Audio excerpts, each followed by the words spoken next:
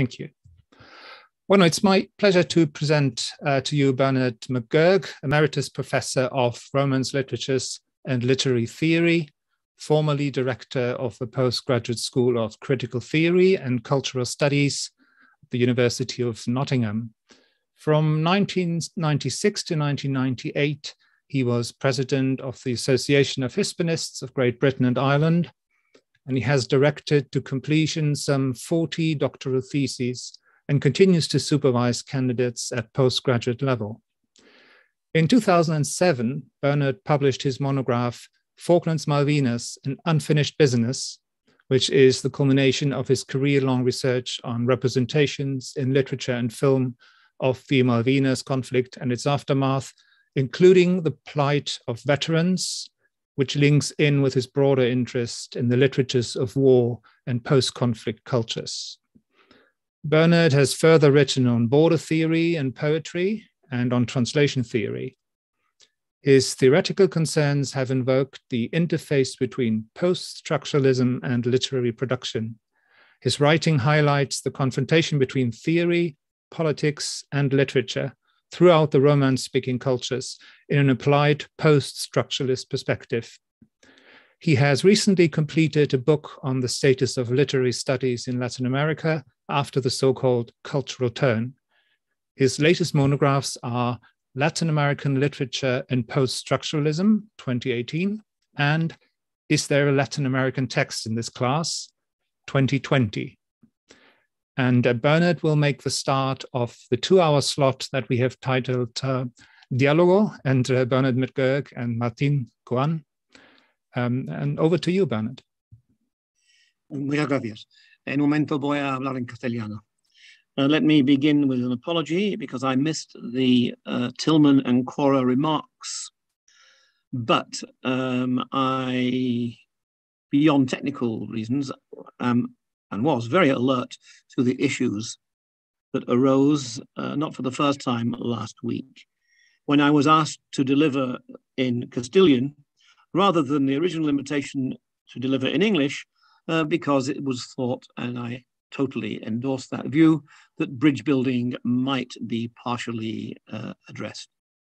So, um, if I were to have chosen a topic for today, it could have been partly in Castilian and partly in English with the juego de palabra in the latter. And it would have been construyendo puentes. Dos puntos. It breaks two to tangle. Los libros pueden ser los ladrillos para la construcción de puentes. En cuanto al mortero y al acero, al diseño y la ingeniería, las metáforas pueden no ser suficientes. Como consecuencia de Falklands Malvinas Unfinished Business, Falklands Malvinas, un asunto inconcluso, publicado por primera vez el 2 de abril de 2007 y presentado con motivo del vigésimo quinto aniversario del conflicto que tuvo lugar en el sur del Atlántico, he sido constantemente invitado a ir más allá del rol de comentarista de las reacciones culturales y literarias y de las consecuencias de aquella triste guerra, y así asumir un papel no del todo desconocido para mí en los climas de mi ostensible pericia en los países de habla castellana y portuguesa de Europa y Latinoamérica. Con frecuencia se espera que un autor u orador en cualesquiera temas esotéricos a tratar pueda ir más lejos de su competencia anunciada y expresar opiniones por las que puede ser citado o distorsionado en la prensa o cualquier otro medio sonoro ya sea por consideración interés local, incluso debe señalarse por razones de manipulación política. Aún así, el riesgo puede funcionar en ambas direcciones. Con frecuencia he obtenido mayor beneficio, ya sea un conocimiento en poder sopesar los diferentes pareceres o a través del acceso privilegiado a sectores informados a ambos lados del Atlántico, que lamentado pérdidas por deformaciones calculadas o accidentales. Durante la investigación realizada para la escritura del libro, no tuve la sensación de estar siendo un pionero en la aproximación a un asunto inconcluso, en los términos de un subtítulo que no ha dejado de crecer en importancia en cuanto a las relaciones anglo-argentinas, así como en otras relaciones diplomáticas en la década transcurrida. Desde noviembre del año pasado, cuando recibí la invitación de parte de Tillman y Cora a participar en diálogo con Martín Cohen, un honor en sí, el mundo ha cambiado de manera inimaginable. Sería indigno e incluso indecente proceder hoy sin pausar antes de referirnos a un conflicto del pasado e inevitablemente a las guerras siempre presentes, siempre más allá de nuestros discursos de no participantes directos. Pauso durante un momento porque me despierto todas las mañanas con un miedo, con el reconocimiento que será un día más de tener que de confrontar lo abominablemente impensable horror actual que está sufriendo la humanidad por causa de la inhumanidad en Ucrania y en Rusia.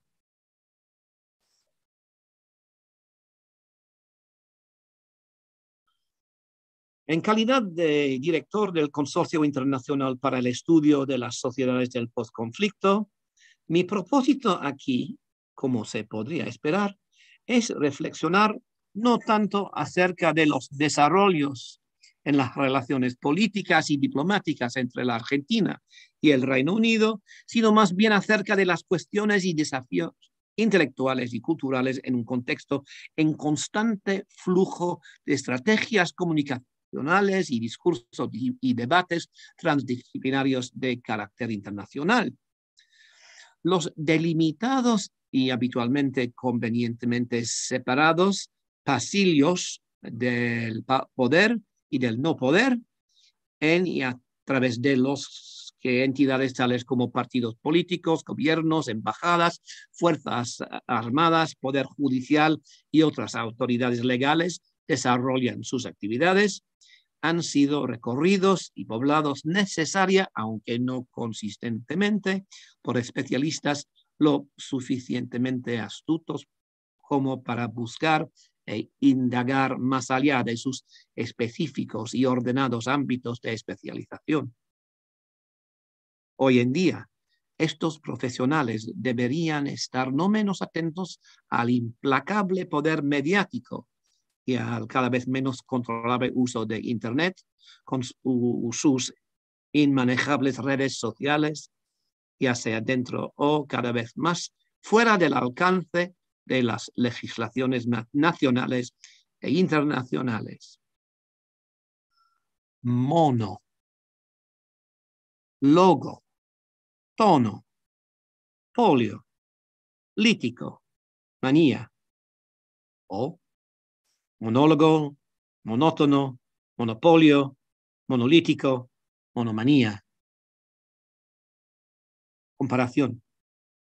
Mi desafío eh, y sí, eh, mi intento es el de no monopolizar. Puedo luego añadir un subtítulo adicional a mi Malvinas Falklands, un asunto inconcluso, o un negocio sin acabar, unfinished business. ¿Dónde radica la diferencia, la diferencia entre las diferentes posturas, tanto abiertas como cerradas, adoptadas? Dejemos que algunos pocos ejemplos muestren el tipo de actitudes que incluso con dificultad deben ser reconocidas, enfrentadas y superadas. Plus ça change. Por más, ça a changé. Mike Sear, oficial de operaciones y entrenamiento adscrito al primer batallón Duque de Edimburgo, Own Rifles, Gurkha Rifles, y quien sirvió con ellos durante la guerra, autor de With the Gurkhas in the Falklands, a war journal, Return to Tumbledown, the Falklands Malvinas War Revisited, escribe de manera reveladora con respecto a Falklands Malvinas, an unfinished business, lo siguiente. Se ha perdido uh, la imagen. Voy a tomar una pausa para restablecer eso y saber si se me oye.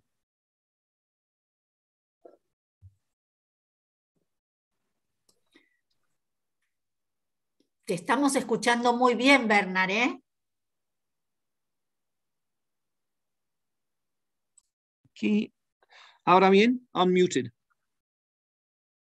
¿Está bien? Perfecto. Perfecto. Bueno, entonces, después de mi mono, tres puntos. Mencioné al mayor Sir y él escribió con respecto al libro que he mencionado lo siguiente. Y cito, creo realmente que este es uno de los libros más notables que he leído sobre la guerra. Es un éxito comercial y una notable obra literaria. Todos los veteranos de guerra deberían leerlo. Clarín, el diario argentino, fue más preciso en, su elogio y describió la obra como imponente. Y el estudio más completo y abarcador del impacto de la guerra en Atlántico Sur ha tenido en la producción cultural argentina, británica y global, incluyendo prosa narrativa, poesía, teatro, cine, humor gráfico y televisión. Sin embargo, Mike continúa, y cito, el libro no gustó a las autoridades de la biblioteca en la capital de las islas, donde se negaron a tener una copia porque el título contenía la palabra tabú Malvinas, aunque su miope perspectiva local de que cita, el asunto estaba concluido. De cita, contradecía el realismo de Bernard. Los negocios iban muy bien en la tienda de regalos, POD. ¿Estaría interesado en verlo aquí? Le pregunté al dueño, esperanzado. Tomó el libro y miró seriamente la tapa durante cinco segundos. Negó con la cabeza. Perdón, pero no puedo, respondió. Si vendiera este libro con el nombre Malvinas, la gente protestaría. También me impresionó hasta qué punto la cultura post-conflicto de esta vulnerable comunidad estaba todavía afectada por la guerra. Decepcionado, me despedí y me fui rápidamente. La tienda de regalos Capstan o cualquier otra librería de Stanley tampoco tiene copias.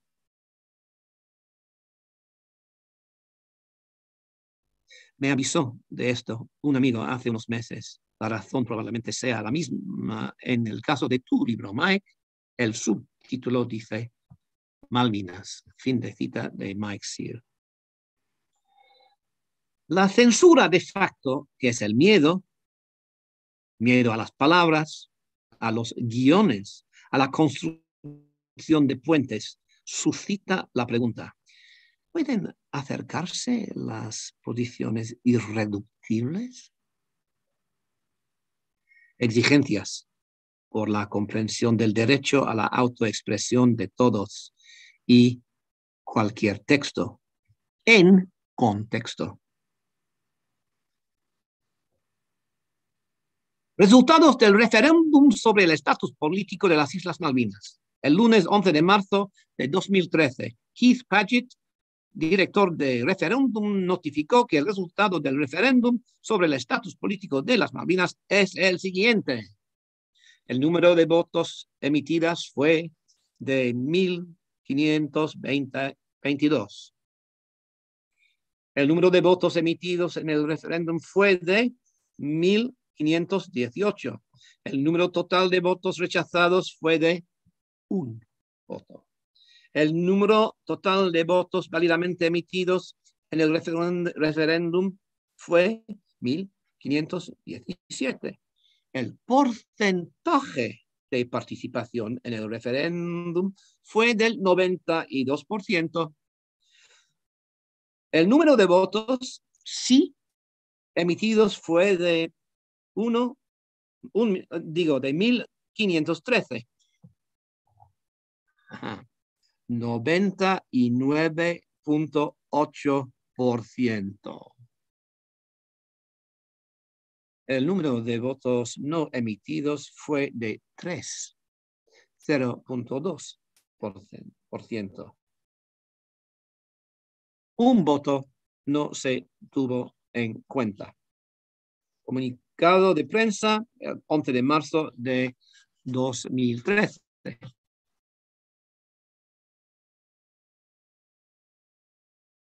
Sicut locutus est, 6 de noviembre de 2015 en email personal a mí. Profesor, professor, fraternizing with the enemy used to be a hanging offense. And Argentina is most definitely the enemy. Traduzco. ¿Por qué vale la pena? La pena de muerte. Mm. Confraternizar con el enemigo solía ser una ofensa ostentosa. Ahorcábamos. Y Argentina es definitivamente el enemigo. Usted está siendo utilizado con fines políticos. Dicho esto, la Universidad de Nottingham tiene una mala reputación cuando se trata de reconocer los derechos humanos de los habitantes de las Islas Malvinas. Quizás pueda ayudarlo, asegurándome al menos de que este, que esté completamente informado sobre la historia, lo que de ninguna manera respalda los falsos reclamos de Argentina. Es triste ver que los veteranos estén, están siendo usados de tan mala manera. Firma Roger Lorton. Lorton. Ipse Dixie. Yo. El 9 de noviembre. Estimado señor Lorton, gracias por contactarme. He tomado nota de sus opiniones y me complace invitarlo a que las exprese en cualquier próximo evento del Consorcio Internacional para el Estudio de Sociedades Postconflicto, en el que se discutirán temas relacionados. En cuanto a los veteranos, prefiero no hablar ni escribir en su nombre, sino asegurarme de que tengan un foro en el que su voz sea escuchada. Esta será, pues, una oportunidad para ello. Mis mejores deseos, Bernard Maguire. Et sequitur, 9 de noviembre. Estimado profesor Maguire, gracias por responder, particularmente porque veo que ha tenido una semana muy ocupada en la Embajada de Argentina primero los veteranos y luego con el maestro propagandista argentina, argentino digo, Daniel Filmus. Es una suerte que el futuro de las Falklands ahora esté tan claramente en manos de los propios isleños y no en las de usted y las de sus amigos. Afortunadamente, la autodeterminación es ahora el único factor reconocido por la ONU. Afortunadamente, los falsos reclamos de Argentina ahora son irrelevantes. En cuanto a su oferta, estoy poco en el Reino Unido estos días, pero estaría feliz de asistir a uno de sus eventos si mi presencia coincide. Las islas albergan una sociedad post-conflicto. Quizá las ha estudiado. En cualquier caso, mis opiniones son bien conocidas, incluso para Daniel Filmus. Saludos, Roger Lorton. Habiendo sido el principal agente de amistad con Edgardo Esteban, actual director del Museo Malvinas, y el impulsor de la existencia de excombatientes compañeros de comando al evento de la embajada, David Charlie Brown, excombatiente y coordinador regional norte de SAMA, South Atlantic Middle Association, debidamente recibido y respondido secamente a la copia del mensaje y correspondencia Arma Virunque. 9 de noviembre de noviembre del 2015. Hola Bernard, le he enviado a Roger Lorton Civil un correo electrónico de vuelta, esperando una respuesta de él, llamándome traidor también. una triste alternativa a los acercamientos constructivos sobre el negocio de los desequilibrios en política internacional es reivindicar como no negociable una posición dada, sabiendo que se siguen esgrimiendo, machacando, exagerando o ignorando importantes factores de intrusión. Un problema lamentablemente irresuelto surge tanto de la ignorancia como de la obstinación de ambos lados. La difícil situación de los excombatientes, muchos de los cuales sufren trastorno por estrés postraumático PTSD. En los encuentros con numerosas corporaciones y personas como el del doctor Lars Weissef, autoridad mundial en psicotraumatología y apoyo psicosocial relacionado con los conflictos de la guerra y otros desastres de índole civil, o con Cliff Caswell, antiguo editor de la revista del ejército británico Soldier, y también gracias a la invitación a participar en debates con Edgardo Esteban, veterano de Guerra de las Malvinas y autor del libro y guion para el film Iluminados por el Fuego de Tristan Bauer, muy controvertido al haber provocado la ira de ciertas fuerzas militares argentinas precisamente por abordar lo que para muchos constituye una realidad tabú como el trastorno por estrés postraumático y los efectos depresivos y suicidas en familias y seres queridos que viven en la cultura impostada de postconflicto del no hablar de helio, omerta.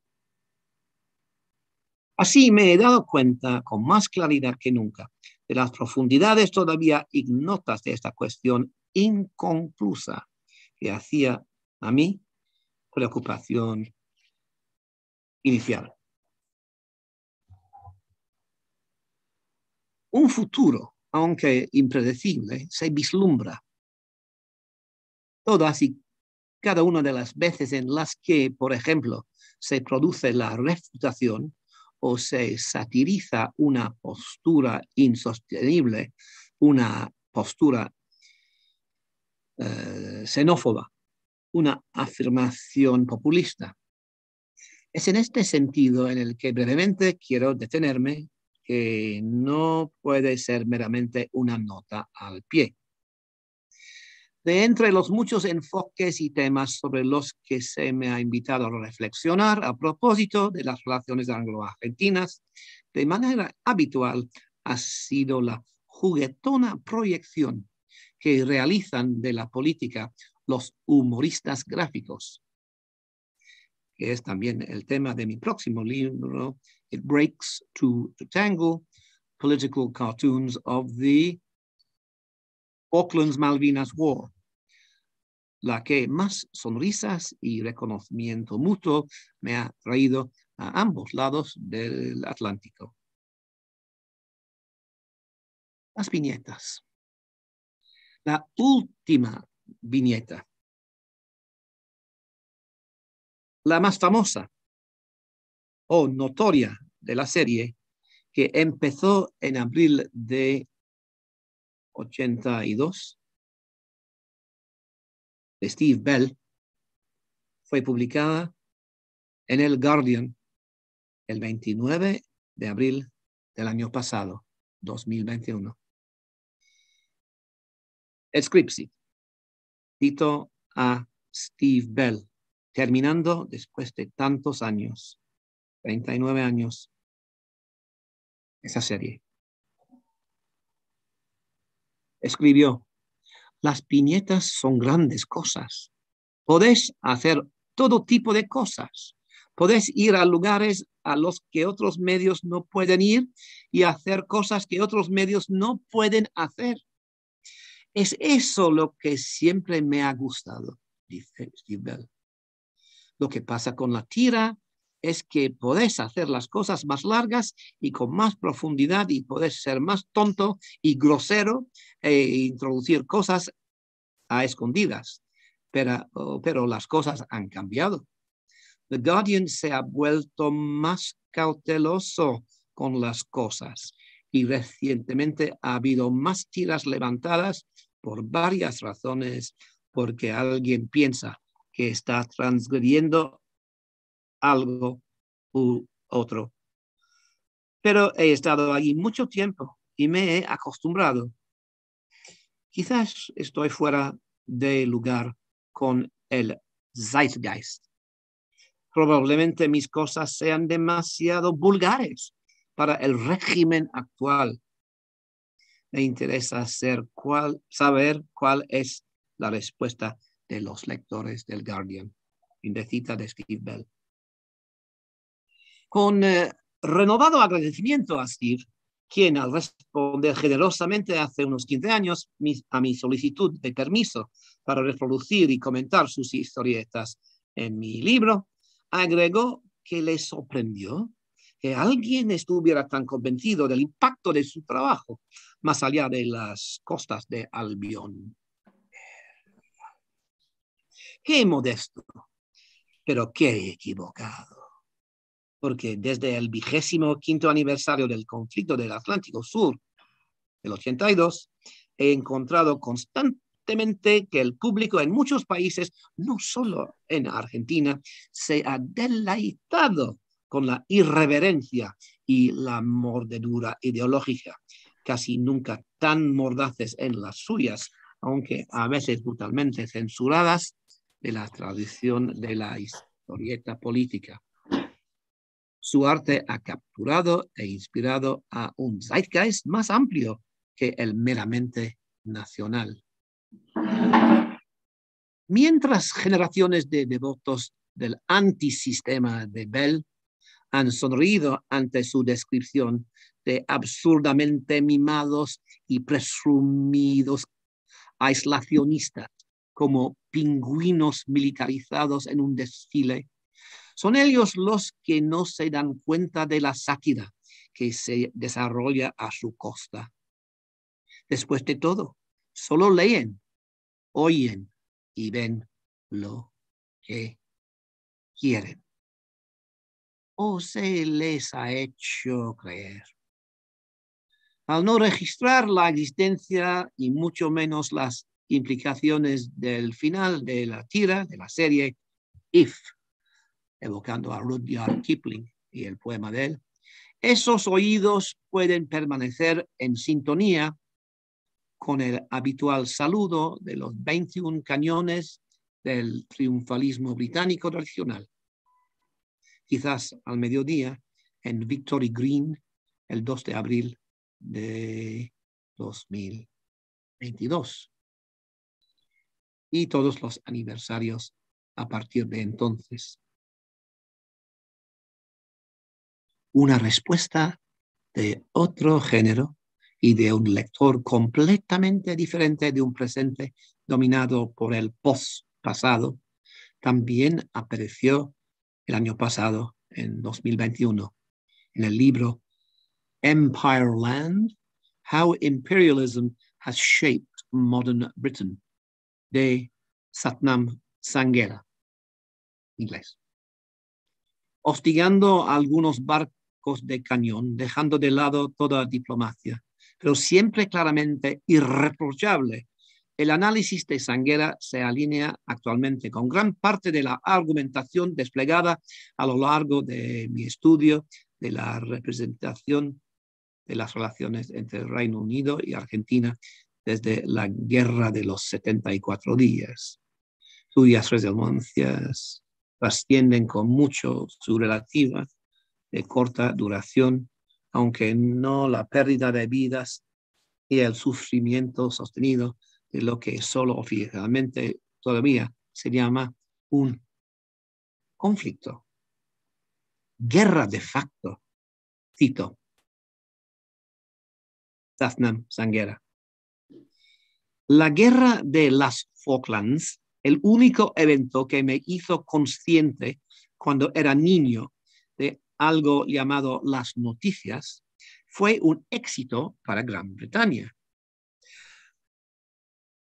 informado por la prensa con una especie de entusiasmo patriótico que la prensa popular había reservado para el imperio de la reina Victoria. El primer día de crisis, The Sun tenía una portada en la que se declaraba, We're gonna smash them. Les vamos a aplastar. Impresa sobre fotografías de Winston Churchill y un bulldog. Los comentaristas compararon la flota con la gran armada. La campaña fue descrita por algunos como una empresa moral, un fuego purificador, según un clérigo de San Carlos, un asentamiento en el noroeste de Falkland. Y en Boris Johnson sigue, Gran Bretaña ha encontrado un líder que, más de cualquier otro político moderno, ha sido moldeado por instituciones imperiales y ha buscado inspiración imperial, escribiendo libros agiográficos sobre el colonialista Winston Churchill para Johnson el Reino Unido global es una superpotencia de poder blando.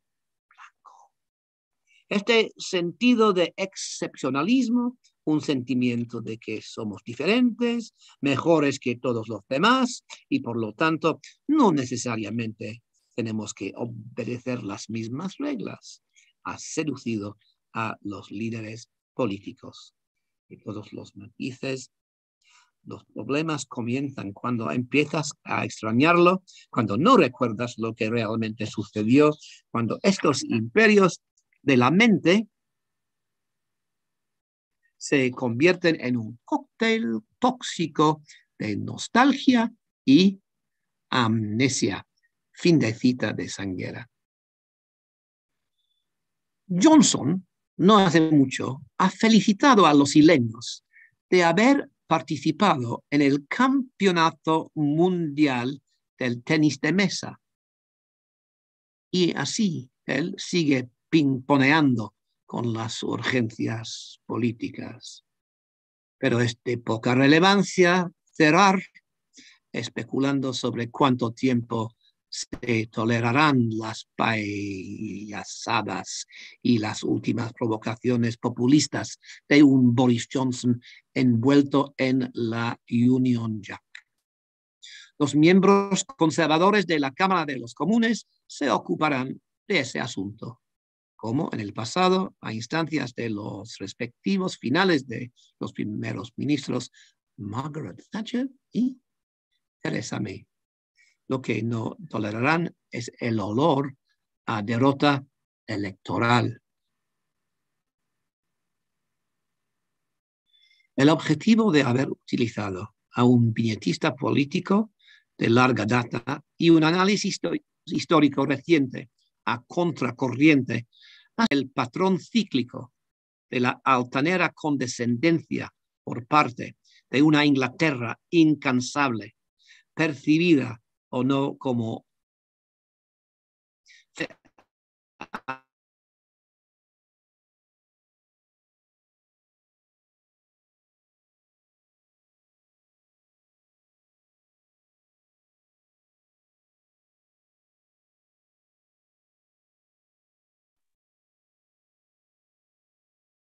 New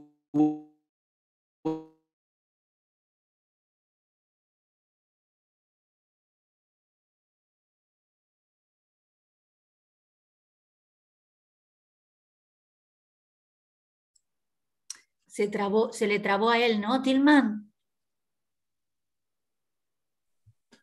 Sí, así parece. Ana, si nos escuchas, sí. Sí, Se cortó la línea, el audio y el vídeo también. ¿Puedes volver a comenzar? El ¿Vuelvo? Sí, ¿Se me ahora oye sí. ahora? Sí, sí, ahora sí.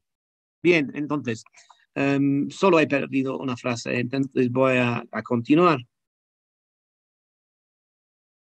Ya, el eh, mi objetivo de haber utilizado a un viñetista político de larga data y un análisis histórico reciente a contracorriente ha sido mostrar el patrón cíclico de la altanera condescendencia por parte de una Inglaterra incansable, percibida o no como pérfida frente a realidades contemporáneas decididamente cambiantes, aunque no sean tan reconocidas como tales en casa como lo son cada vez más en el extranjero, sobre todo a la luz de los absurdos palpables del bravo nuevo mundo, brave new world, del Brexit.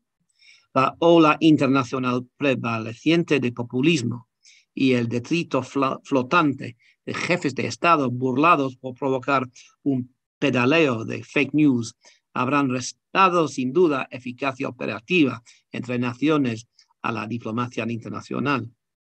Déjà vu para los seguidores de los últimos días del patriotismo, cito, patriotismo como el último recurso de una condena sin vergüenza, fin de cita de Samuel Johnson, el doctor Johnson del siglo XVIII.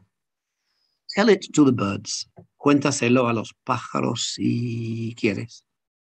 Sin embargo, el dicho ancestral y las consecuencias de ignorarlo quizás no sean tan desconocidas para las ahora varias generaciones de argentinos, viejos y jóvenes, que han sufrido y a menudo todavía sufren la criminalidad patroni- patronizada por el Estado de los años de Galtieri y otros. Los primeros indicios son que la refutación calma y basada en hechos por parte de los portavoces oficiales del gobierno de Buenos Aires de la tergiversación atroz de la realpolitik internacional podría y debería evitar una recaída en nuevos días y décadas de disputas repetitivas y antagonismos inútiles. Sin embargo, durará. Uno teme, sobre la base de una experiencia personal, pero en una conversación reciente con el embajador presente Javier Figueroa, hemos deliberado sobre la diferencia entre lo jurídico, negociable, argentino, y lo pragmático, no negociable, británico. También sobre la inexistencia en lengua castellana de la palabra leverage. Leverage. Una instancia ejemplar de tal concepto, lejos de ser abstracto, ha sido la pronta propuesta del embajador Figueroa, anticipándose al aniversario de este año 2022, de buscar la cooperación con la organización Veterans Aid, fundada en el Reino Unido en 1932 para brindar un apoyo a exmilitares en crisis. Bien recibida por su director ejecutivo hoy, el doctor Hugh McIlroy, como reflejo de, y cito, una expectativa unificadora de respeto y de conocimiento que trasciende el idioma y la nacionalidad. Podrían haber provocado a ambos lados del Atlántico la previsible andanada de acusaciones lortonianas, recuérdese ese nombre de emailista, residente actualmente en Tailandia, me informan, de traición y deslealtad, habitualmente filtradas por no combatientes mimados, que se olvidan demasiado fácilmente, tanto de los campos de batalla como de un apoyo universal para los veteranos, todavía insuficientemente negociado. El cabildeo partidista en todos los frentes para cuando mis palabras estén expresadas y eventualmente impresas, sin duda ya se habría vuelto a hacer oír, escuchar y graznar. Cuéntaselo a los pingüinos. Mientras tanto, en la diplomacia, como en nuestros discursos políticos y actividades académicas u otras tan creativos y variados entre nuestras generaciones, marcadamente diferentes, con énfasis en lo plural de versión es y visión es. Coherencia y paciencia. Il n'y a le dernier mot. Una vez más, Falklands, Malvinas, un asunto inconcluso. Malvinas, Falklands, un negocio sin acabar. Gracias.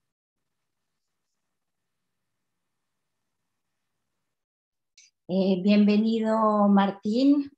Es un lujo tenerte acá en las jornadas. Martín Coan es doctor en letras por la Universidad de Buenos Aires, de la Facultad de Filosofía y Letras. Se desempeña como profesor en teoría literaria en la Universidad de Buenos Aires y en la Universidad de la Patagonia. En el año 2007 fue ganador del Premio Ralde de Novela por su novela Ciencias Morales, la cual fue llevada al cine tres años más tarde en el film La mirada invisible, dirigida por Diego Lerman.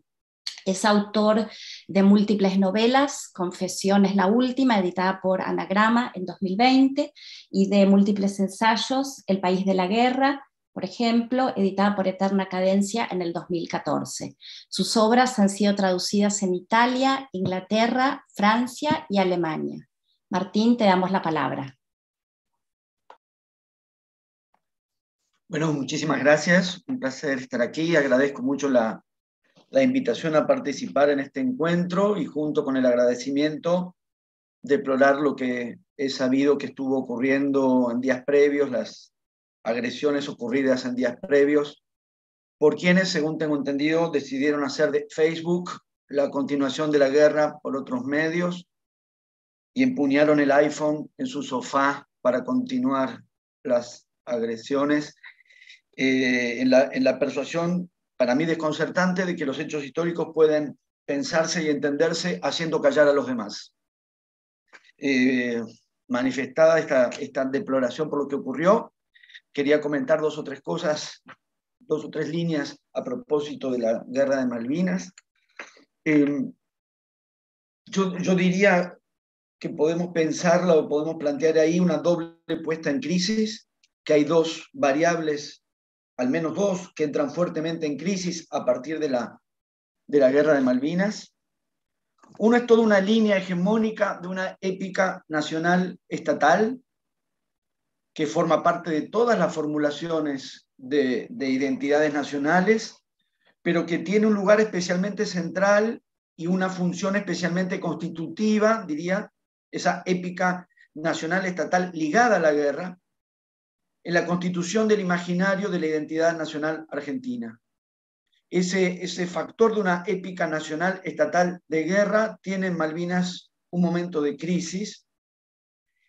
Y por otro lado, o en realidad en relación con esto mismo, una puesta en crisis o una entrada en crisis de todo un orden de sentido y de todo un sistema de valores constituido, diría, a partir del paradigma de la épica nacional estatal y que derivan más bien en el colapso o la crisis de ese orden de sentido a un borde de sin sentido y que plantean efectivamente esa, esa instancia, el sin sentido.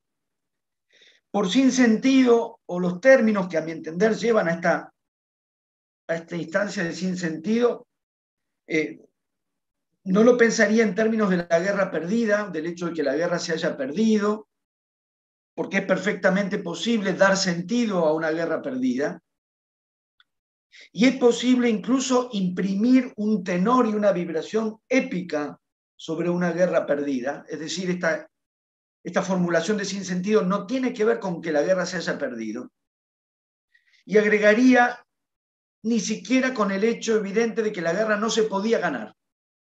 Quiero decir, no se trata de la guerra perdida y no se trata de la guerra imposible de ganar. No es ni un factor ni el otro el que lleva al sin sentido, sino la guerra que no convenía ganar. La guerra que habría sido una desgracia ganar. Dicho a la inversa, la guerra que fue conveniente perder. Y esto relaciona un dato evidente, que es que una victoria en la guerra de Malvinas no habría sino fortalecido la posición política de la dictadura militar. No, no se trata de una especulación, no se trata, creo, de una conjetura demasiado arriesgada y ni siquiera diríamos, de un, de un contrafáctico. Es, es una deducción bastante evidente. Incluso si consideramos respecto de lo que conversamos hace un rato, incluso si, si se quiere considerar que Malvinas en todo caso produjo, al menos en algunos sectores, una suspensión de la lucha contra la dictadura militar y no una adhesión activa, lo digo como hipótesis parcial, parcial sin dudas, también hubo adhesión por supuesto, aún bajo esa consideración o esa distinción entre, entre apoyo activo y suspensión del conflicto, aún bajo esa consideración, parece ser evidente que una victoria en la guerra de Malvinas habría fortalecido y prolongado eh, la permanencia en el poder de la dictadura militar y por lo tanto estamos bajo esta formulación. La guerra, insisto, no que se perdió o que no se podía ganar, la guerra que no había que ganar, la guerra que convenía perder. Y ahí es donde yo creo que es posible señalar este núcleo de sinsentido, difícil de resolver y quizás, quizás imposible de resolver, lo que eh, yo diría, podría agregar otra dimensión a esta inconclusión de, la que hablaba Bernard.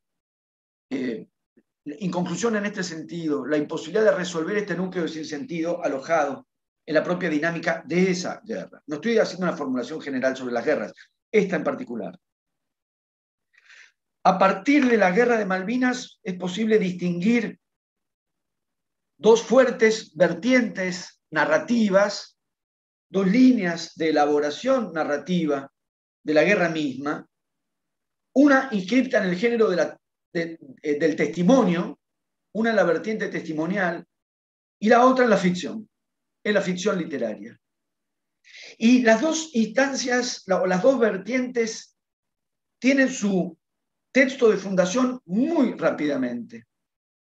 Porque ya en 1982 se publica un primer texto con, testimonios de los soldados que volvían del frente de la guerra, que tuvo un enorme impacto, que es Los chicos de la guerra, de Daniel Cohn, que tiempo después tendría su versión cinematográfica y que tuvo una repercusión social enorme ya en el mismo año 1982. El libro se publica muy poco tiempo después de terminada la guerra y tiene un tenor y un carácter fundamental para definir un imaginario en relación a la guerra de Malvinas. Por lo pronto, ese sintagma, Los chicos de la guerra, que era el título del libro.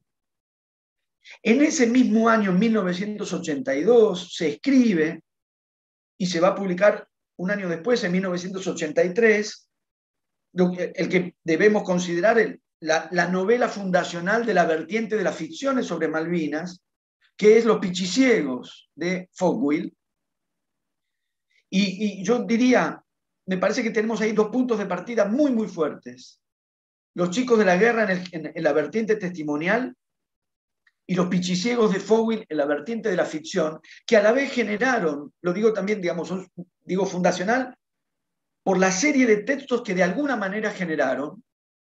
En la vertiente testimonial, por ejemplo, por poner un ejemplo, se está reeditando ahora un libro llamado Partes de Guerra, de Graciela Esperanza y Fernando Cittadini, construido también como un mosaico de testimonios, ya en los años 90. Y en el caso de los textos de ficción, la productividad, digamos, y la cantidad de textos que, y de ficciones que se han elaborado es verdaderamente extensa. Los pichiciegos de Fowell como punto de partida en 1983, el propio Fowell insistió y no consiguió que la novela se publicara en el mismo año 1982, y, y él escribe la novela, según él decía, cuando la guerra todavía estaba transcurriendo. O sea, hay una eh, un texto y otro tienen una inmediatez muy notable y una cercanía muy notable con la propia guerra, pero también una derivación a futuro, una fertilidad de, textos a futuro también muy notable, porque también en la vertiente de la ficción podemos enumerar, entre otras posibles, las islas de Carlos Gamerro, Trasfondo de Patricia Rato, una puta mierda de Patricio Prom, un cuento de Rodrigo Fresán llamado El aprendiz de brujo, que está en su libro Historia Argentina, El desertor de Marcelo Eckart, La construcción de Carlos Godoy, Mi pequeña guerra inútil de Pablo Farrés, La causa justa, un relato de Osvaldo Lamborghini. Estoy nombrando, son muchísimos textos de ficción y hay muchos más, hay varios más. Y yo interrogaría, digamos, o reseñaría rápidamente las modulaciones de, esas dos, este, de esos dos registros narrativos. Sabemos que lo propio del testimonio es, este, es el pacto entre experiencia vivida y verdad, lo que esos textos testimoniales ofrecían y ofrecen es la legitimación de la vivencia, la validación de la verdad desde la desde la vivencia, es decir, la potencia del haber vivido, y al mismo tiempo, para pensar que la potencia puede, a la, potencia puede caberle también una limitación. El haber vivido parece imponer también, determinar también en estos textos, una necesidad de dar sentido frente, digo, al sinsentido constitutivo del que hablábamos antes. Prevalecen los textos testimoniales, y yo, diría de un modo más que razonable y humanamente comprensible, si me permiten decirlo así, una fuerte necesidad de dar sentido a lo que pasó. Yo diría dar sentido a ese sinsentido. Ya se trate de sostener la legitimidad de la causa, reivindicar la gesta, refrendar los valores, digamos, variaciones de esta eh, necesidad de restablecer valores ahí donde cierto orden de valores entró en crisis y reponer un sentido vivencial sobre ese núcleo de sinsentido que determinó la guerra. Creo que podría considerarse una excepción en el caso del texto que citó Bernard, que es Iluminado por el Fuego, de Edgardo Esteban, que me parece que puede, puede marcar ahí una línea diferencial de un texto testimonial fundado en la experiencia vivida y que da un margen distinto a la alternativa de asumir el carácter absurdo de todo lo que pasó. Caso contrario, insisto que el hecho mismo de haber vivido los acontecimientos, a la vez que otorga la potencia de esa, instancia de verdad que es la vivencia misma, también impide o dificulta, no diré impide porque está el caso de Iluminados por el Fuego, dificulta esta posibilidad de afrontar el sinsentido. Se entiende esa necesidad de dar sentido. Y habría que pensar en, en todo caso la potencia del no haber vivido. Las alternativas y las perspectivas que abren el hecho de no haber vivido la guerra, en términos precisamente de asumir el sinsentido, ahí donde los textos testimoniales van una y otra vez, en general, a esa necesidad de, como dije, restablecer valores y restablecer sentidos. Pienso, por, ejemplo, porque me parece uno de los casos más significativos, en Carlos Gamerro, el autor de la novela Las Islas, precisamente porque Carlos Gamerro es clase 62. Es decir, pertenece a la generación que debió haber ido a la guerra. Hay distintas formas de no haber ido, yo no fui, pero yo soy clase 67, a mí no me tocaba. El caso de Gamerro, por ejemplo, es interesante, eh, porque es alguien que no fue pudiendo o debiendo cronológicamente haber ido. Determinadas circunstancias de su vida hicieron que no, finalmente se viera eximido de ir a la guerra. Uno de los artículos del, libro de, que se comentaba recién de la música de Malvinas toma el caso de Gamerro y de, y de Fito Páez, el caso de los que son clases 62-63 y no fueron a la guerra. Porque al no haber ido, eh, se abre una posibilidad de asumir el sinsentido, y yo diría que este es el tono y el registro predominante en la ficción. Frente a la verdad vivencial, frente a la verdad, a la clave, a la legitimación de la verdad del testimonio, que a la vez llevaba a dar, a dar sentido. La ficción pone en juego otro orden de la verdad, que es la verdad del sinsentido. La verdad del sinsentido de esa guerra. Verdad que, en términos generales, para los textos testimoniales es comprensiblemente difícil de asumir, y que al mismo tiempo está en la base de las ficciones sobre Malvinas, porque está en la base ya de los pichiciegos de Fowell. Situarse en el sinsentido, asumirlo, plasmarlo, expandirlo, narrar el sinsentido. Lo cual supone un quiebre narrativo fundamental y que se produce muy rápidamente en la narrativa argentina sobre Malvinas, en la narrativa literaria, en la ficción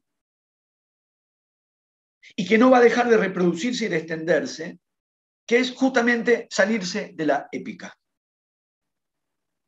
Descartar la épica, desechar la épica, que como todos sabemos es el género de guerra por excelencia. Narrar una guerra sin épica, es esto lo que aparece en los pichiciegos, las islas, trasfondo, etc. Narrar una guerra y no narrarla en clave de épica, sino en clave de farsa, de sátira, de parodia, de picaresca, la picaresca de la supervivencia en lugar de la épica de guerra. El pícaro sobreviviente como figura determinante de la narración de guerra y no el héroe sacrificial. Y en relación con esto, inseparablemente, la desestabilización de los valores de la identidad nacional y de los fundamentos de identidad que contrapone tajantemente nosotros y ellos, contraposición que las guerras habitualmente llevan a su expresión más vehemente, y que en estas ficciones se desestabilizan. Entre nosotros y el ellos hay cruces, pasajes, impregnaciones, préstamos. Se desestabiliza, se desestabiliza la plenitud del nosotros, la homogeneidad del nosotros y también la plenitud del ellos, también la homogeneidad de ese ellos.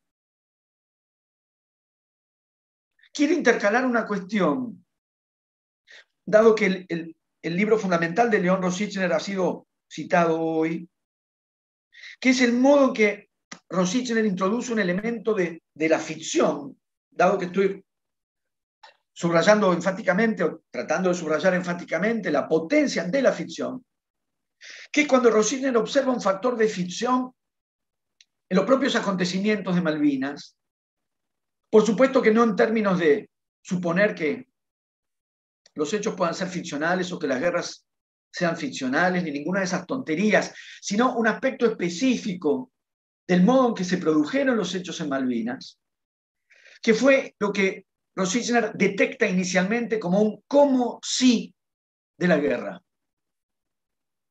La guerra empieza en un como sí de guerra, en el sentido de que el propósito y el plan, si se puede hablar de plan, no era entrar en el intercambio de hostilidades, sino ocupar las islas para abrir la negociación. Ocupar las islas para abrir la negociación.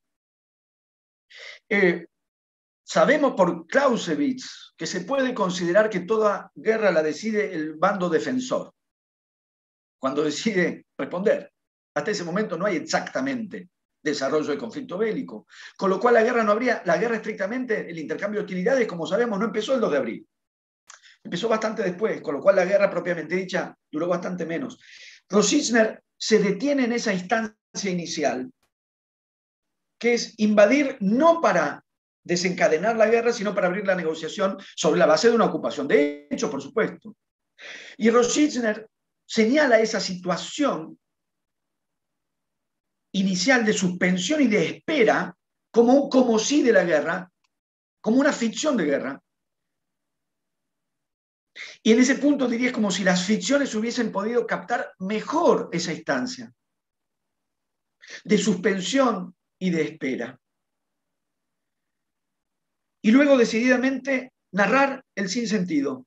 Dije recién suspensión, pienso en una novela llamada, que mencioné recién, Trasfondo, escrita por Patricia Rato, que transcurre en un submarino durante la guerra, claro, y va, de hecho a situaciones de combate, porque la, la narración en el submarino es efectivamente una narración suspendida. Y los combatientes están en el submarino sumergidos, así como los soldados de los pichiciegos de Fowell cavan cuevas y túneles y están bajo tierra.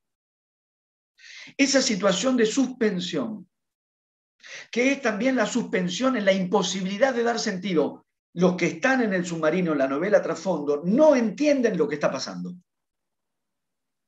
No pueden entender lo que está pasando, no por distancia, no por lejanía, sino al revés, por estar demasiado cerca, por estar demasiado adentro, dentro del combate, dentro del mar, dentro del submarino. No pueden entender lo que está pasando, no pueden dar sentido a lo que pasa.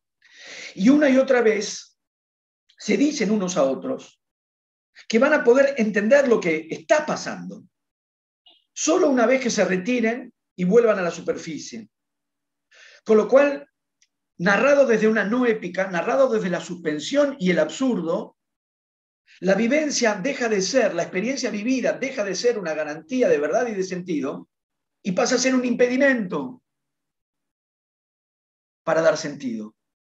Sobre todo cuando uno avanza en la novela trasfondo de Patricia Rato, que es de la que hablo, los, integrantes del submarino, los combatientes, no son soldados, pues es la marina, vuelven a superficie y se enteran que la flota de la que formaban parte finalmente no salió, que a ellos no alcanzaron a avisarles, que fueron solos ahí.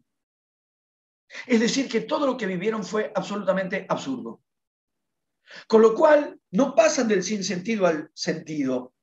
No pasan de la imposibilidad de dar sentido a la posibilidad de dar sentido. Pasan de la imposibilidad de dar, de la imposibilidad de dar sentido a la evidencia de que lo que vivieron no tenía sentido. No tuvo sentido. Y que por lo tanto, en el sinsentido, hay, había y hay una verdad de la guerra de Malvinas. Agregaría dos instancias alternativas. Una encarada fundamentalmente por un historiador que es también autor de ficciones, que es Federico Lorenz, con diversos textos orientados a una búsqueda de sentido en la experiencia de los combatientes. No en la dimensión de los valores nacionales, no en la dimensión de la gesta nacional, no en la dimensión de la épica de Estado, sino lo estrictamente vivido por los soldados que tuvieron que ir al frente del combate. Es decir, es, una variante a lo que estoy planteando. Extraer del sinsentido histórico un sentido personal. Los textos de Federico Lores van orientados, entiendo yo, hacia ese punto. Insisto, lograr sonsacar del sinsentido histórico, no revertirlo, sino extraer de ese sinsentido histórico un sentido personal. Y en términos de los valores de la identidad nacional y los valores de la épica nacional, interrogarlos al menos en dos instancias posibles y distintas. Yo diría muy rápidamente, pero esto es sabido, su función conservadora, su función reaccionaria, su utilidad para las estrategias de poder, desde cierto imaginario patriótico de la identidad nacional, que supone un nosotros, que supone que en ese nosotros todos tenemos los mismos intereses, que supone que al interior de ese nosotros, unidos por los mismos intereses, por lo tanto no hay conflictos. En ese sentido, sabemos que esta dimensión de la, emoción patriótica tiene un carácter reaccionario. Pero sabemos también que hay una dimensión de contrapoder que sí es posible retomar y reivindicar.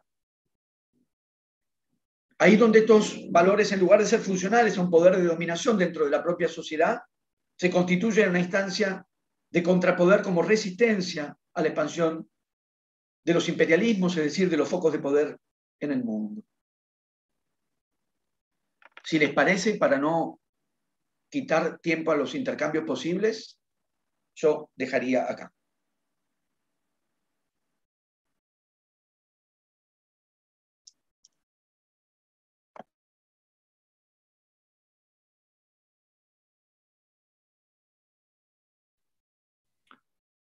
Bernat, ¿quieres eh, responder? Mm. O entrar en el diálogo, mejor dicho. Sí, imposible no entrar en el diálogo porque hay tantos puntos eh, que marcamos en común, evitando el nosotros, porque lo personal es lo individual dentro de una sociedad más amplia. Era por accidente que yo caí en una trampa.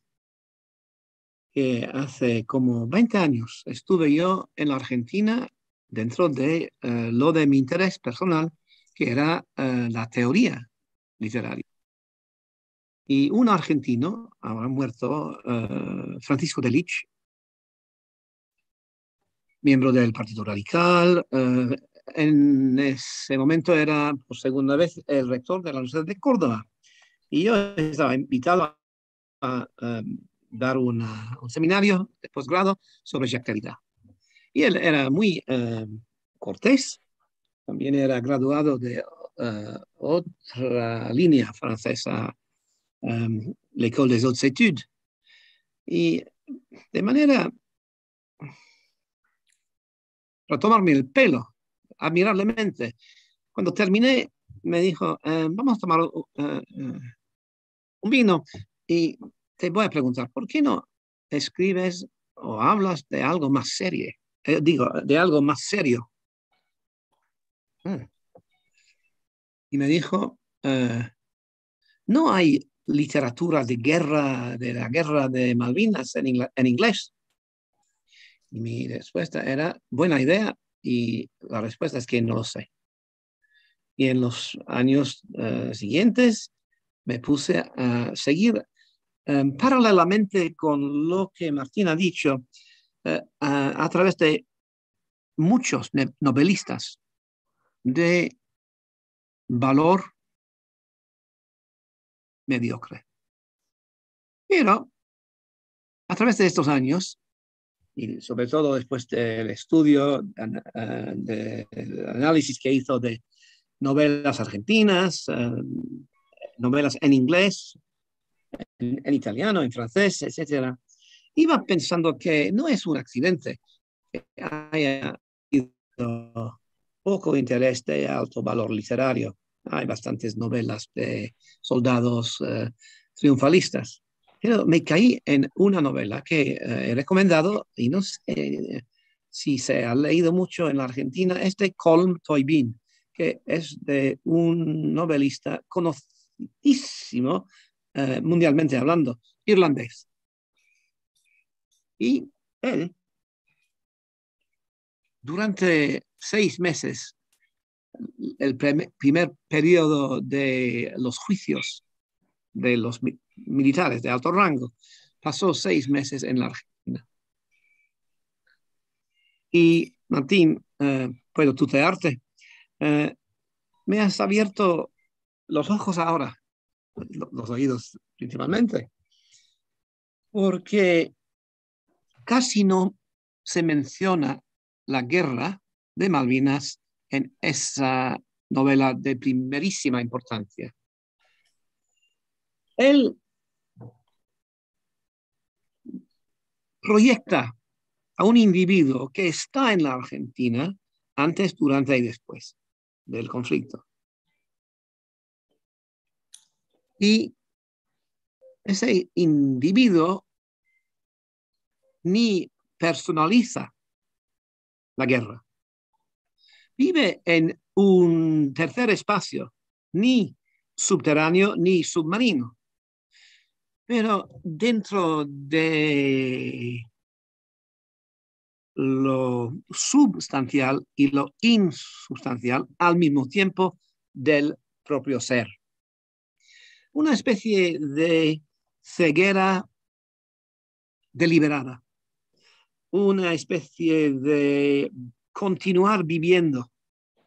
Y yo quisiera poner precisamente este approach en manos de un novelista de, alta categoría, porque es precisamente porque lo personal, lo individual, es capaz de hacer todo lo contrario de lo épico, cayendo en la misma trampa. Entonces añadiría esa dimensión porque estoy convencido de que em, habiendo abierto varias em, eh, trayectorias, testimonial, ficción, y luego has em, eh, no refinado, has añadido, por ejemplo, lo de iluminados por el fuego, por ejemplo, la verdad del que no ha vivido la guerra, sino que ha muerto en, por causa de la guerra.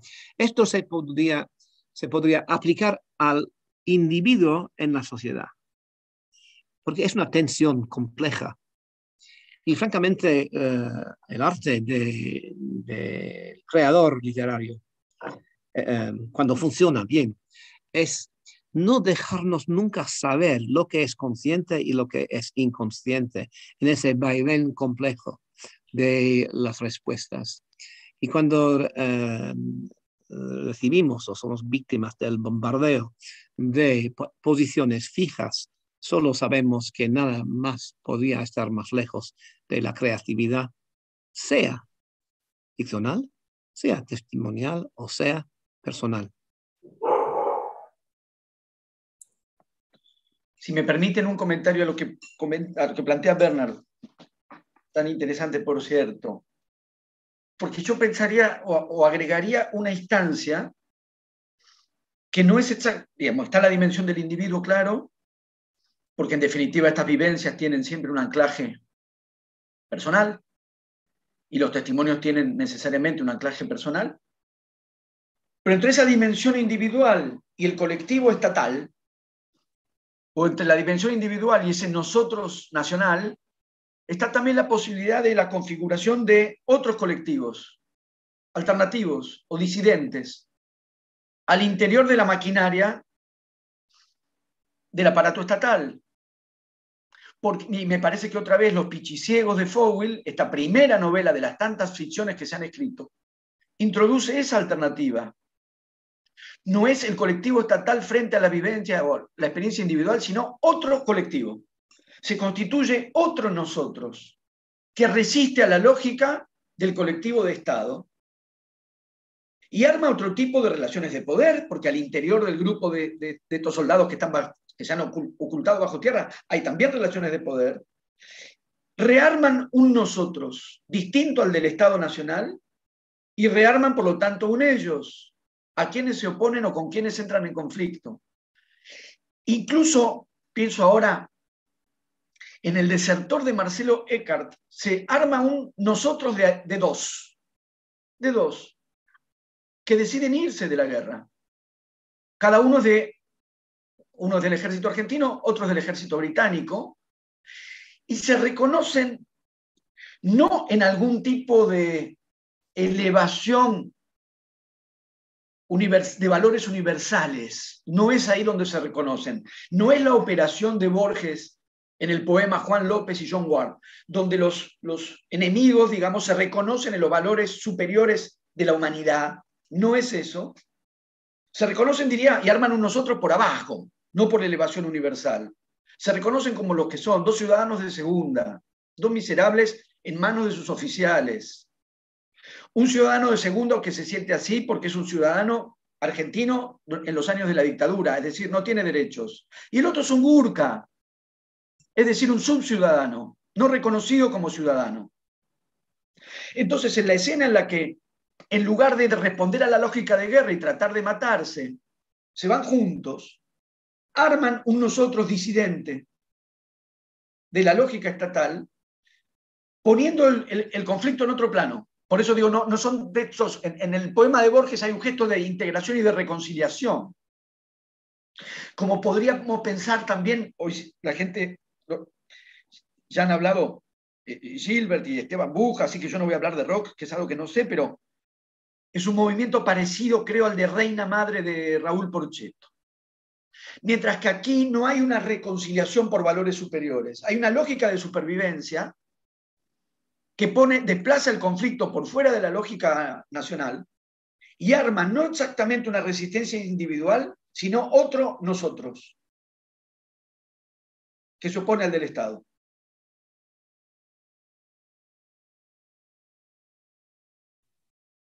Inmediatamente pienso en eh, la función de la abyección, ¿se dice así?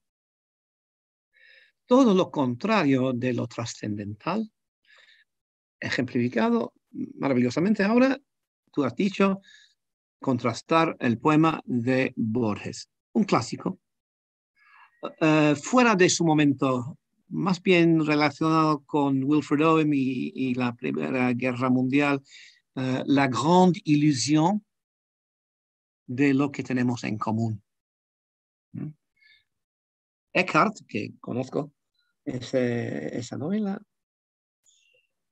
nos sorprende inicialmente, porque con un casi no humano o un subestimado en la mirada de, por cierto, muchos de los veteranos argentinos con quien he hablado, que están convencidos de que mataron a varios Urca.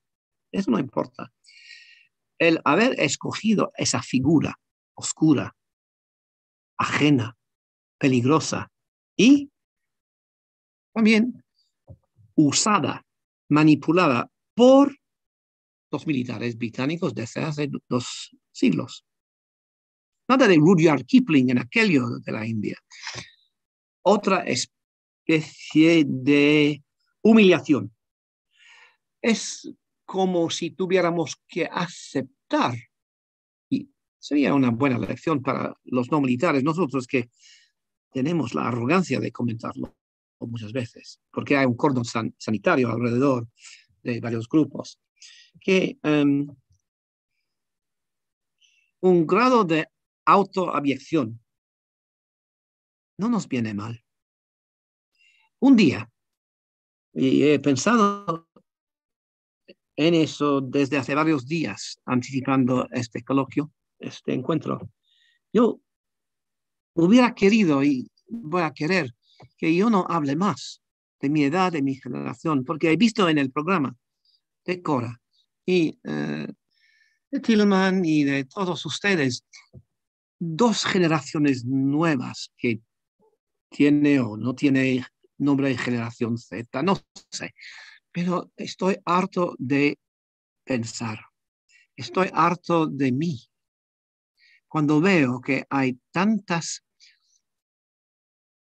posibilidades de individuos que, y es muy importante, como la semana pasada Estela ha dicho, una mujer puede hacer algo, pero la matarán. Cuando los individuos, y espero que la próxima vez sean dos mujeres, por ejemplo, que abren el debate, que hay tantas posibilidades, que sean em, capaces de analizar, em, no psicoanalíticamente, no, sino em, en un vaivén entre la teoría y la vivencia actual de una mujer, de varias mujeres, de grupos, de feministas, etcétera, para quebrar un poco con, eh, con respeto. Tú y yo tenemos en común, no, no la edad, porque eres joven, pero las referencias a novelas que siguen siendo importantes en sus relecturas, relevantes siempre por personas que piensen diferentemente. He hablado demasiado.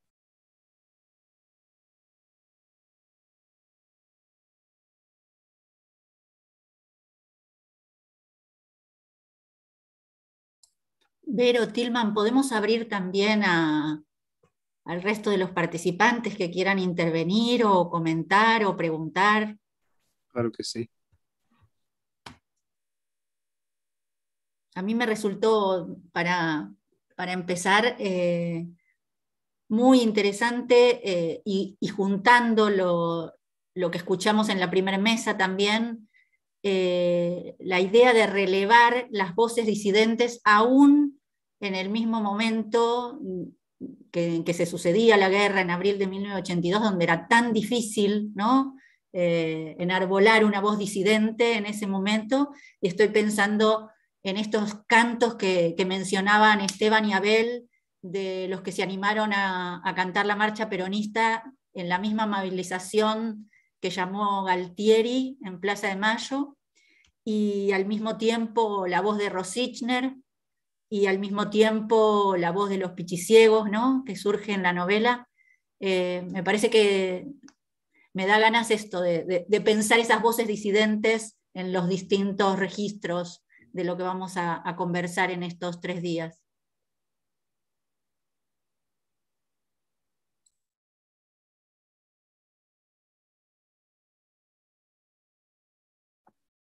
Igual por lo de la marcha peronista lo había dicho yo, y Esteban lo, para ser justos con el modo en que lo vamos pensando, porque Esteban razonablemente eh, relativiza la incidencia.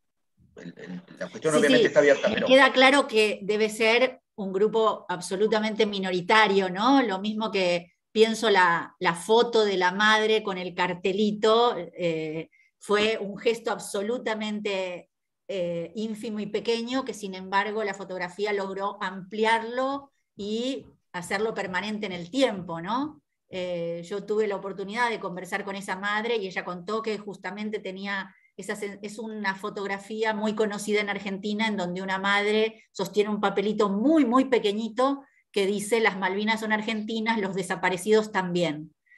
Pienso que es un gesto muy pequeño, ella cuenta que iba a la Plaza de Mayo y lo escribió en, en un papelito que tenía en una agenda pequeña en su cartera con una virome, eh, y la fotografía logró que ese papelito perdure en el tiempo, ¿no?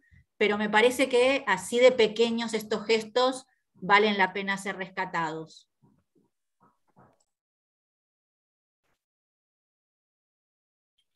Esteban, Esteban Buch tiene su mano levantada.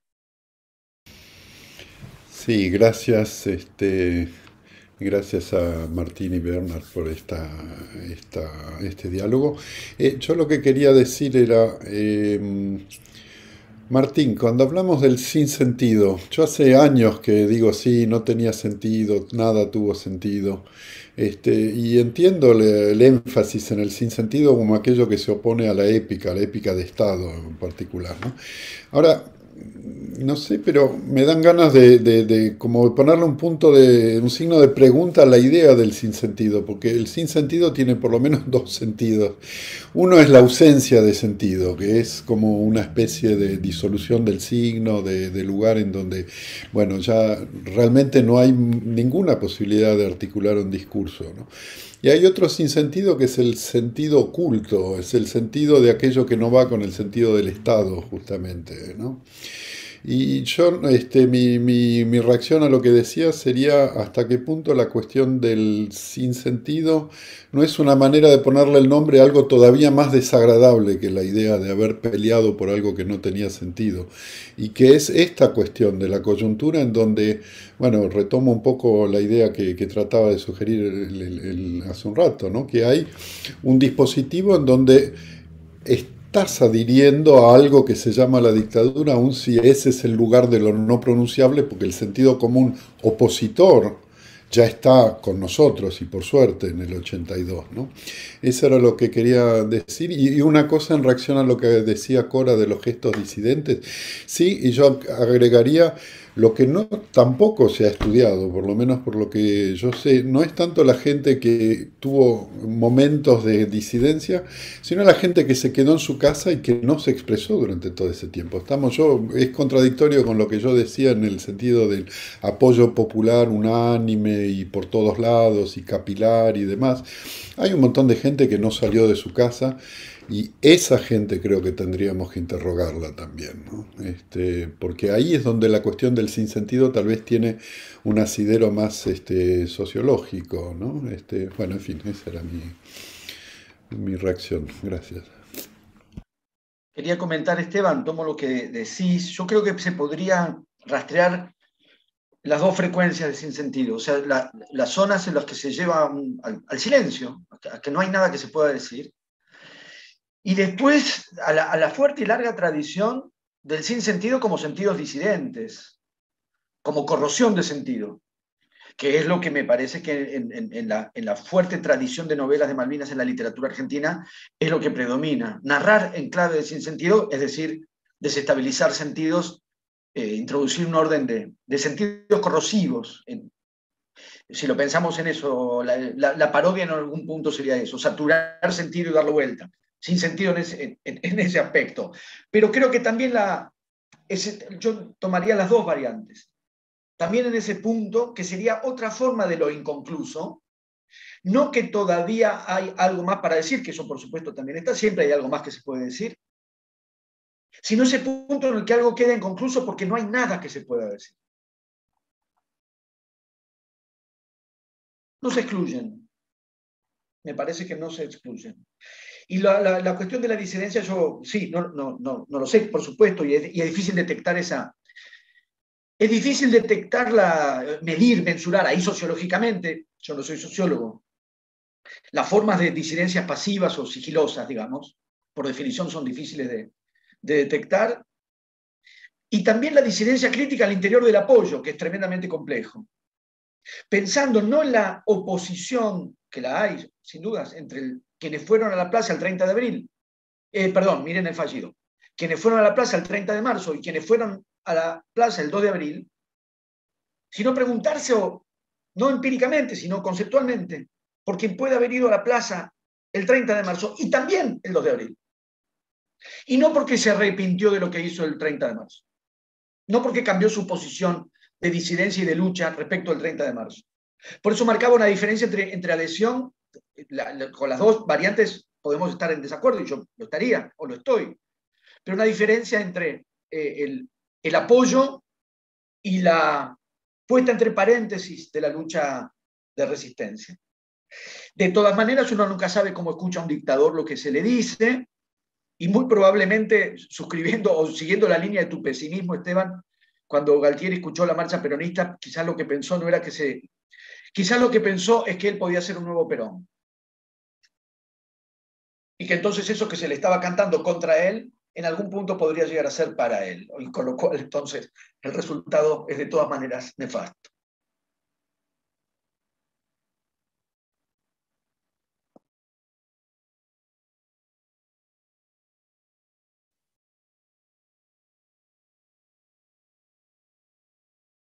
¿Puedo añadir algo? Em, muy brevemente. He ido pensando solo hoy mucho sobre esa noción del significado, del sentido, del no sentido. Y sobre todo em, la relación entre el Estado y ese em, individuo posiblemente. Y me ha hecho pensar en un caso notorio. La frase sin sentido se ha aplicado mucho aquí al suicidio. Es un término empleado casi por todo el mundo cuando se suicida un individuo. Lo que es más ofensivo que usar un término es cuando el Estado no le permite un sentido al suicidio. Sobre todo cuando, como fue el caso hace cinco años, cuando un ministerio británico, del gobierno británico, negó las cifras que decían que recién había superado el número de muertos, 255 del lado británico, en el conflicto entre los eh, sabidos suicidios. Y cuatro días después de, la publicación de esas cifras, el ministerio, no, no, no, no podemos decir eso, porque em, un suicidio es capaz de ser matado por muchos motivos. El hecho de que fuera un veterano de Malvinas, de Falklands, eh, no es garantía de nada. Y tan ofendido estaba eh, un excombatiente que se llama Gus Hales, que empezó en la calle de su ciudad, de los Midlands, una huelga de hambre que duró uh, diez días. Y la prensa, incluso los diarios uh, tipo Daily Mail, Daily Express, um, tabloids de derecha estúpida, no podían atacar a un héroe, a un exconvertiente. Y sobre todo porque ese hombre, habiendo hecho varias veces ciertas tentativas que no necesito mencionar, a él le fue recomendado que, eh, que hiciera lo que se llama en inglés go on retreat. ¿Cómo se dice esto? Religiously, go on retreat. Take a retreat en un monasterio. Y ese hombre lo hizo. Y allí encontró una calma. Y era un monasterio eh, budista. Y a través de los muchos años, no solamente se convirtió en monja budista, sino también fue a las islas, donde dejó una pequeña estatua de Buda, donde él había recibido la última respiración de un caído que murió en sus brazos. Esa historia iba acompañando todos los días la mención de Gus Hales. Y claro, la etiqueta era casi incompatible, porque pocos hubieran tenido y no, no tenían la indecencia de atacar a un imbécil o a un loco del pavimento o a un loco de no sé qué plaza, de qué padres, ni de qué madres.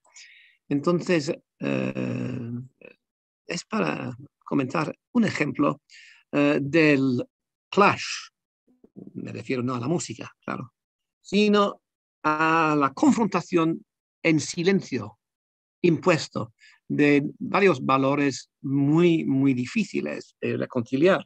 Es decir, lo que eh, ustedes y hoy Martina ha subrayado. siempre en el testimonio activo de lo que hago, no solamente de lo que cuento. Eh, tengo algo que va más allá del testimonio eh, de una historia, porque eh, una huelga del hambre que dura 10 días es una historia. Entonces, solamente eso que sí, el Estado no les permite ni un número, para decir un nombre, a los que se suicidan. Pero que tenemos derecho de decir que era un sin, sentido, volviendo a lo que acabo de decir. Dentro de ese supuesto sin sentido hay uno, solo un sentido que para el individuo nunca podíamos subestimar.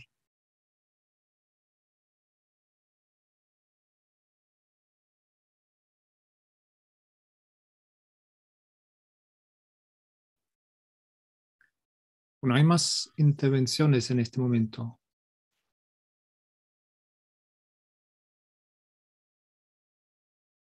Martín, ¿algo más que añadir? Solamente comentar, porque debo irme ya a trabajar, aunque esto también es trabajar. Porque es lo que yo no, no, no me decidí a mencionar, por suerte Bernard lo trajo a colación. No sabemos por qué alguien se suicida y no sabemos en qué borde del sentido y del sinsentido alguien se quita la vida. Pero evidentemente alguna señal hay ahí. Y el hecho de que haya más muertes por suicidios que muertos en el frente de guerra está indicando algo muy perturbador en esta relación de sentido sin sentido.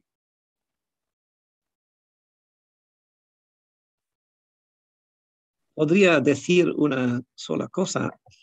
Eh, en noviembre del 2006, eh, junto con eh, ese militar que mencioné antes, Sir Mike Sir, organicé el primer encuentro de grupo entre eh, excombatientes veteranos de, la guerra. Y en la primera noche yo hice una estupidez. La primera de, de varias, pero solo comento una. Yo pensaba proyectar en vísperas eh, del coloquio de cuatro días y después de la cena, la película Iluminados por el Fuego. Y causó en esta primera pre-noche de coloquio eh, un walkout total. Los nueve argentinos se negaron a presenciar sin haberla visto, por supuesto, porque era considerada, considerada una indecencia. Del suicidio no se puede hablar decentemente dentro del cordón sanitario de los, militares. Y eh, con solidaridad, varios de los militares eh, británicos dijeron, si ellos se marchan, nosotros también. En los días que siguieron, em, los que quedamos un poco fuera de todo aquello eran los no militares, porque uh, The Band of Brothers es algo terriblemente um, estatal en el sentido de, de una sociedad. Y un desafío que yo he vivido en los últimos 15 años es siempre callarme y respetar eso. Y cuando Daniel uh, fuimos ha estado con nosotros y también con Gus Hales, el que he mencionado, eh, he, estado em, impactado por el gesto. Daniel, por ejemplo, iba a hablar después de una mesa redonda y él eh, estaba eh, entre el público y simplemente se levantó después de tres testimonios de tres excombatientes.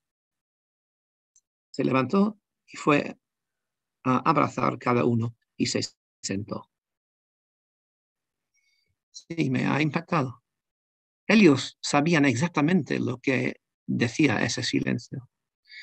Sabían exactamente lo que era ese construir de puentes y el profundo respeto de un civil, no opinando como muchos de los civiles de esta semana han tenido la cara dura de comentar lo que nunca podían imaginarse, sino mostrar en acción y en el lenguaje del silencio la posibilidad de dar la vida y de dar sentido al que había sufrido más allá de la imaginación de casi todos nosotros en este coloquio.